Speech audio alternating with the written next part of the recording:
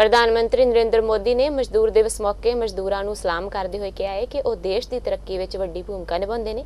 PM Modi ਨੇ tweet ਕਰਕੇ ਮਜ਼ਦੂਰਾਂ ਨੂੰ ਸ਼ੁਭਕਾਮਨਾਵਾਂ ਦਿੱਤੀਆਂ। ਉਹਨਾਂ ਕਿਹਾ ਕਿ ਮਜ਼ਦੂਰ ਦਿਵਸ ਮੌਕੇ ਉਹ ਉਹਨਾਂ ਅਣਗਿਣਤ ਮਜ਼ਦੂਰਾਂ ਦੇ ਦ੍ਰਿੜ ਸੰਕਲਪ ਅਤੇ ਮਿਹਨਤ ਨੂੰ ਸਲਾਮ ਕਰਦੇ ਨੇ, ਜੋ ਭਾਰਤ ਦੀ ਤਰੱਕੀ ਵਿੱਚ ਵੱਡੀ ਭੂਮਿਕਾ ਨਿਭਾਉਂਦੇ ਨੇ। ਪ੍ਰਧਾਨ ਮੰਤਰੀ ਨੇ ਗੁਜਰਾਤ ਅਤੇ ਮਹਾਰਾਸ਼ਟਰ ਦੇ ਸਥਾਪਨਾ ਦਿਵਸ ਤੇ ਇਹਨਾਂ ਰਾਜਾਂ ਨੂੰ ਵੀ ਵਧਾਈ ਦਿੱਤੀ।